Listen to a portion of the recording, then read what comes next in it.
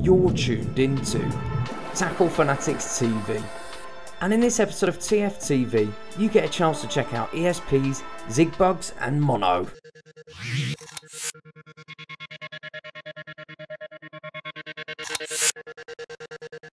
Today we're at Oxlease on the Linear Complex and we're going to be looking at some new Zig gear that we've just launched. This includes a range of Zig Bugs and Zig and Floater Mono, which is generally used either as a hook link or as a main line. Now, ready tied flies aimed at Zig fishing have been available commercially for a few years now. Um, but ESP's association with them goes back quite a long way, actually all the way to 2004 when a guy called Dave Drake, who's our rep that covers the southwest of the UK, he's an expert fly angler, fishes for the England fly fishing team and also a very adept fly tyer. Um, he tied up some dedicated water boatman imitations for Terry Hearn and also Dave's brother Mark Drake, who's a very keen carp angler. Now they were fishing on Pingewood near Reading at the time and I'm not sure if it was Terry or Mark, but they noticed um, that there was serious hatches in the spring of water boatmen. Now what water boatmen do is they, they rise up to the surface, they take in like, almost like a gulp of air and this ends up being like a little air bubble on the belly of the water boatman and then they dive back down again. Now they, they found that the carp were absolutely gorging on these water boatmen in the spring and but they were actually quite difficult to catch. So Dave, Dave Drake came up with, with the idea of tying some replicas on proper carp hooks, so you had the, the strength of a decent hook, um, to imitate these water boatmen.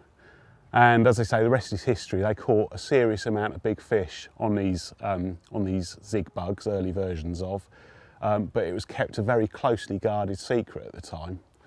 But now they're available to all. So we're going to have a closer look with Kev Hewitt, who's here today, a bit of a zig connoisseur, uh, when you use them, how you use them, and how Kev fishes them. Um, so we'll have a closer look in detail at the range. So now we're going to go into a bit more detail on zig fishing and the new gear, the bugs and the mono, with Kev. But firstly, Kev, zig fishing, when, are you, when do you sort of mainly target that tactic? To be honest, when I first started zig fishing, it was always a summer thing when you see fish cruising round up in the upper layers with yeah. their backs out the water. But the more and more I've sort of tried zig fishing, the more I've come to realise spring is the best time of year by far for zig fishing. Now don't get me wrong, you can catch fish all year round on zigs. I've caught them in winter, spring, summer, autumn, any time of the year. Yeah. But spring seems to be the one for me where I've had some massive hits, loads of fish in springtime. So probably from late February, March and April is absolutely king for the zigs. And um, I think the reason why potentially the water's warming up because yeah. because the temperatures are getting warmer. Um, the fish just seem to spend a lot more time in the upper layers. Now you don't physically see them cruising around with their backs out of the water or anything like that. Sometimes you don't see any fish at all and you can put zigs out, you know, only a couple of foot below the surface, mm. sometimes two or three foot below the surface in early spring is the one and I've had numbers of big hits, you know, multiple double takes, lots of fish in spring, you know, fishing a couple of foot below the surface. Um, one of the reasons, possibly because of the spring hatches. Yeah. You know, when got when, to be the main reason, isn't it? Exactly. Really? When yeah. when when the light sort of the, the daylight hours are longer, mm. all li- everything starts to come alive again, and yeah. you've got all the living organisms, you know, creeping up, and th- there's lots of things floating around in the water column and it, it, has to be the one. It, it has to be the, the, the, fly hatches and everything coming through the water, which gets the fish going and searching in the upper layers for anything sort of floating around. Yeah, and in the winter, I suppose, um, there's not a lot hatching, but you get those periods of high pressure, you know, cold nights, bright sunny days, a little bit like today, when they tend to get up in the upper layers because they're warmer. And yeah, again, definitely. I think um, definitely the higher pressure, you mentioned mm. high pressure, certainly I found when, whenever it's high pressure, the fish always seem to be fairly dormant in the upper layers normally. Right. They don't tend to sit low down in the water, they tend to sit further up and just be sort of milling about. And sometimes you're never going to get a bite in a million years on the bottom on bait because yeah. they're not there and they're not really feeding. Mm. But sometimes just sticking that little bug in front of his face is just making him uh, sort of like asking lure, the question, isn't yeah. it? You they, they look at it, they either eat it or they don't, and, Mm. and at that odd occasion they just suck it in, and you've got one. You've got Yeah. a winter capture of a fish caught on a zig, and Yeah. you know it's happened to me a number of occasions. Mm. I've had some very very nice fish through the winter on zigs. You catch them at night as well on zigs, which you think would be Yeah. more of a visual type approach, wouldn't you? But I know you've caught them on, on black foam at night. Yeah, yeah, definitely. I've caught I've caught a good number of fish at night, just just on a little black bug. Yeah. You know, um, I can't put my finger on it. How a fish can find a little black bug, bit of foam in the upper layers, just just sort of sitting there Yeah. in the middle of the night is beyond me. But I'll tell you what, they do find it, and as I said, I've caught loads of fish Mm. from doing it.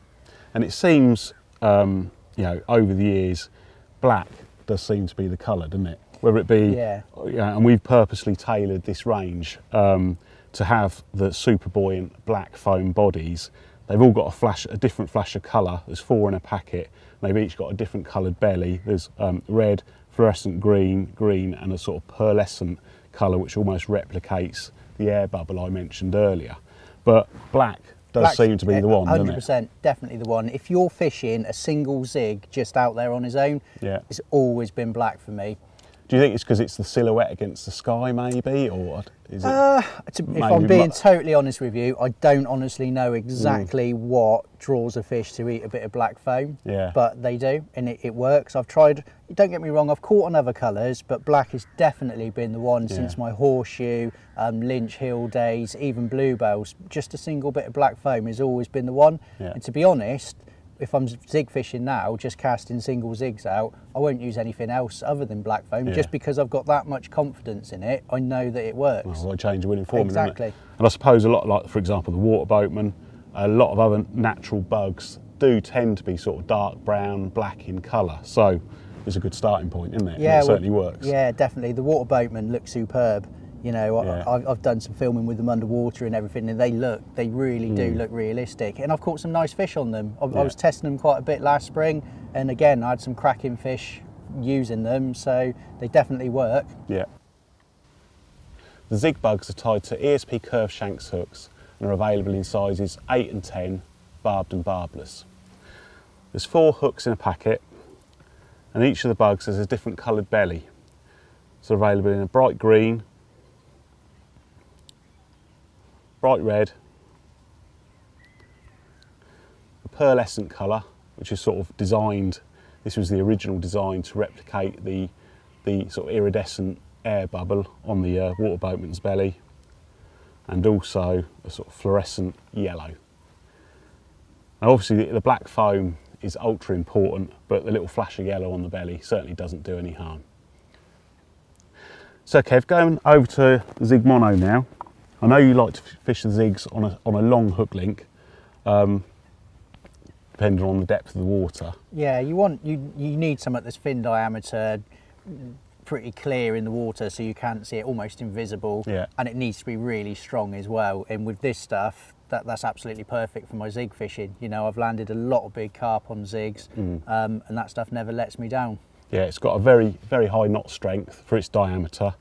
It's semi-buoyant, so combined with the ultra buoyancy of the zig bugs, it, uh, uh, you know, one of the bugs can hold the hook link up in 12, 14 foot of water overnight, no problem at all. So let's have a look at your lead setup, Kev. See how, you, how you fish it. Okay, for all my zig fishing, I always use this this lead setup. I'm not a big fan of adjustable zigs. Right. They may have their time and a place, but I'm not a fan at all. I've always fished zigs popped up straight off the lead, basically. So Yeah. that that relies on a long hook length to whatever depth I'm fishing. Mm. So if I want an eight foot zig, obviously I tie an eight foot hook length. Yeah, I fish it where where you're allowed on lead core leader, just simply so that I can quick change between leaders, Mhm. whether I want to be fishing on the bottom or switch into a zig. yeah, Um, I use an ejector lead clip. So for, for most of the time when I get a take on a zig, I'm, a lot of the time I'm big fish fishing. Yeah. Sometimes it can be quite weedy. I want to eject the lead. So the ejector lead clip, and I cut the uh, tail rubber down. So I've just got a little, bit sliver on there. Yeah, So when the fish picks up the zig, uh, the weight of the lead sets the hook. So Yeah. I always use the bigger lead. And when it shakes its head two or three times, it pops off right.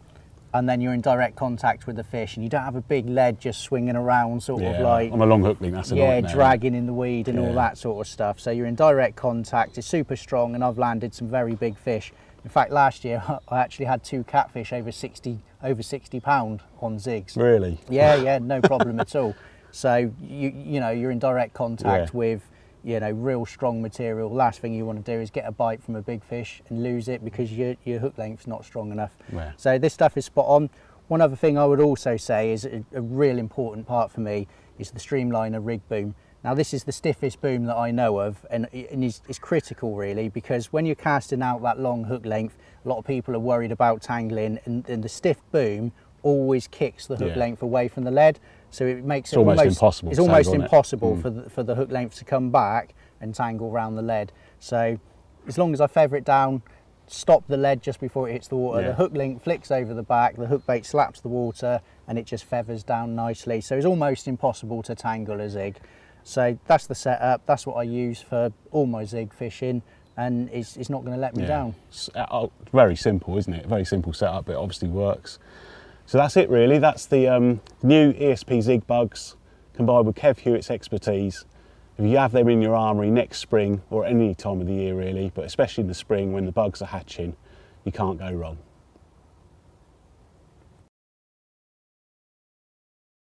You've been tuned in to TFTV. Tackle Fanatics stock an extensive range of ESP products at the best prices around. We'll stock a vast selection of end tackle from all the leading manufacturers. To view our range, log on to www.tacklefanatics.co.uk. Remember Tackle Fanatics offer finance to make your tackle purchase more affordable. Tight lines and wet nets, everybody at TFTV.